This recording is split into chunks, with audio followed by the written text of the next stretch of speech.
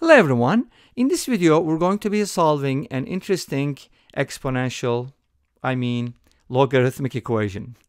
So we have log x plus y equals log x minus log y. Could we turn this into an exponential equation? Definitely, uh, we can also talk about that. I wasn't actually planning on talking about it, but we can do the following. Since we have logs on both sides, and I don't seem to have a formula for log x plus y, but I do have something for the right-hand side, right? It might make sense, right? So why don't we write it as 10 to the power log x plus y equals 10 to the power log x minus log y.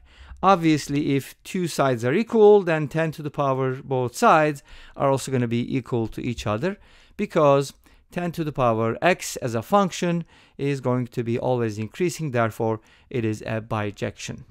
All right? Cool. Now, what do we get from here? We get something nice. First of all, notice that we have a special formula for uh, logs, which is a to the power log with base a of b is the same as b. And if you wanted to prove that set it equal to x, log both sides with base e, base a I mean, then you'll see that it's equal to b. So in this case, our base is 10. When it's not written, it's base 10, as you can see here. So uh, this basically means that 10 to the power log something, let's call that z, is equal to z. In this case, I have uh, x plus y here and two logs. So here it might make sense if we split it up into 10 to the power log x divided by 10 to the power log y. I mean, you don't have to do it. You could directly go off of that, but uh, it's a little easier right now because we haven't used any properties logs except for this one. Anyways, so hopefully you get the idea. Now let's go ahead and simplify it from here. 10 to the power log x plus y is going to be x plus y. And what is 10 to the power log x? It is going to be x and 10 to the power log y is going to be y. So that is going to be our expression. So I wasn't, I wasn't planning on using 10, but it turns out to be a really nice way of approaching this. But let me go back and uh, stick with the original plan. So, so we have log, but you can see from here, if you do 10 to the power of both sides, you're going to be able to simplify it.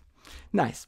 I'm, I'm going to go through the solution. Uh, it's kind of interesting because this is uh, more like a general equation as opposed to like numerical values. We're not solving for just a single x, but x and y are going to be uh, dependent upon each other. All right. So I don't have a formula for log x plus y, but I do have a formula for log x minus log y. So if you have the difference of two logs, that can be written as the log of a quotient. One more time, the difference of two logs can be written as the log of a quotient. In other words, this can be written as log x over y, right? And now we can totally forget about this and equate these two things. If you equate those two things, what do you get? Log x plus y equals log x over y. And if you remove the logs, because again, log is an increasing function, just like 10 to the power x. So if log a equals log b, that always implies a equals b. Of course, this is true for real numbers with complex numbers. Complex uh, complex logarithms are very much different. And we used it in the previous video. Remember, we had 1 plus i to the power i, which was a very, very complex number, right? Okay, so we're going to stick with the real um, solutions here. So I have the equality of logs. This, this implies x plus y equals x over y as before. So it's a little easier. It seems to be a little easier using 10 as a base uh, but again, it just popped up, um, just occurred to me, and I'm glad that I was able to share that with you. So we have this uh, equation. What can I do with this? Absolutely, uh, you can do lots of things, but one of the things that I can think of quickly is multiply both sides by y, which is uh, cross multiplication. So multiply both sides by y, y cancels out, you get xy plus y squared. I always write uh, like to write things in alphabetical order. That's why I always write it x, y, not yx. I don't know. It just looks weird to me. And then we can put everything on the same side, like, okay, y squared plus xy minus x equals 0. And then we can solve this as a quadratic equation in y. And that's going to give us the following. That's kind of interesting. Let me show you real quick, but then I'm going to do something nicer than this. So as a quadratic um, in y, this can be written as negative b plus minus the square root of b squared, which is x squared, minus 4ac, which is plus 4x. Awesome. What is that supposed to mean? This means that there are two solutions for y. In other words, there are two branches or two pieces for this graph. Is that a hyperbola? I don't know. You'll probably let me know.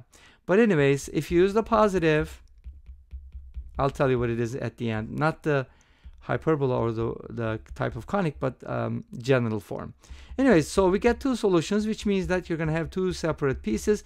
And if you graph these on Desmos, hopefully that's going to give you a nice graph. But there's actually a much, much nicer way to approach this problem. So let me go ahead and show you that approach, which you probably thought about. I'm pretty sure you guys are very smart. I know my audience is awesome. So now uh, let's uh, start, I don't know, maybe start with this x plus y equals x over y. So I kind of have to uh, roll it backwards and then start with this. So you're thinking like, okay, I turn this into a quadratic in y and that kind of seems to complicate things, don't you think? So why not go with the other variable, which is actually linear, right? If you consider uh, this equation in x, then that's linear. So that's something very interesting about algebra that an equation can be linear or quadratic depending on how you look at it. So here's what I'm talking about. And uh, some people are going to complain about it because I talk a lot, but I just want to explain things. And sometimes I get excited about something that I just find at the moment and I want to share with you. So hopefully you don't mind. Okay. And if you do, that, that's okay too. So anyways, uh, take out an x. I get 1 over y minus 1. And I can make a common denominator. Again, this doesn't look super duper good, but don't worry, we'll fix it. And then the hocus pocus abracadabra mathemagics occurs. Multiply both sides by y, you get y squared equals this. And then divide and ta-da, you get x in terms of y in a much nicer form. And obviously, this is much, much nicer. And guess what? This is a rational function. Yes, this is a rational function, which usually has asymptotes, you know, so on and so forth. But what kind of asymptotes you can think of? By the way, this is x and y are, are switching roles here, so you kind of have to uh, switch the roles on the coordinate plane, and you'll see the graph. So here, uh, y equals 1 is going to be an asymptote. I'd like to say it is normally horizontal, but in this case, I would go with vertical. But this is vertical from an x equals f of y perspective. So if you, this is probably going to be turn out to be horizontal anyways, but hopefully you get the idea. So this uh, seems to be a vertical asymptote graphically.